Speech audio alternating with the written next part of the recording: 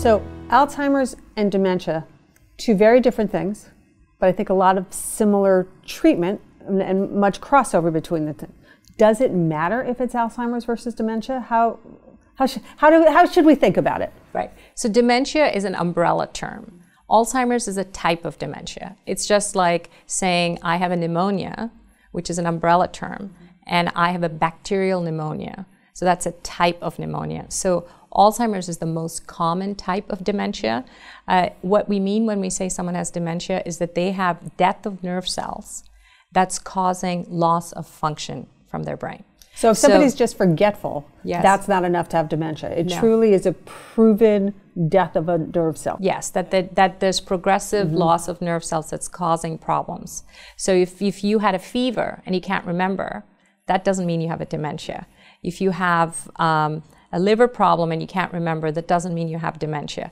Dementia definitely means that you have to have death of nerve cells. And Alzheimer's is the most common type of dementia. There are other kinds of dementia, dementia from strokes, dementia from Lewy bodies, frontotemporal dementia, dementia from mad cow disease, but they're all dealing with the death of nerve cells. And are the treatments significantly different if you have Alzheimer's versus other types of dementia? Yes, there, there's a big difference because let's say you have dementia from stroke, you want to prevent more strokes. That would be your number yes. one strategy. Right. Whereas with Alzheimer's, you would have other treatments that we still don't yet know how to prevent the brain deposits that happen in Alzheimer's.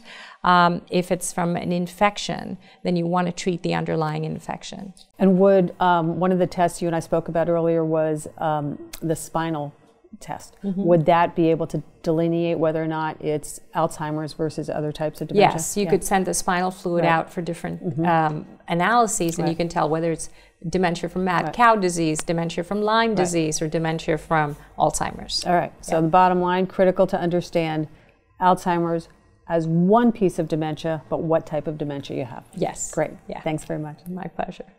If you like what you just saw, come to our website. We have many more videos with Dr. Devi. You can buy her book too, The Spectrum of Hope. Here's mine. It's all dog-eared because there's so much important information in it about the, the new learning and understanding about Alzheimer's.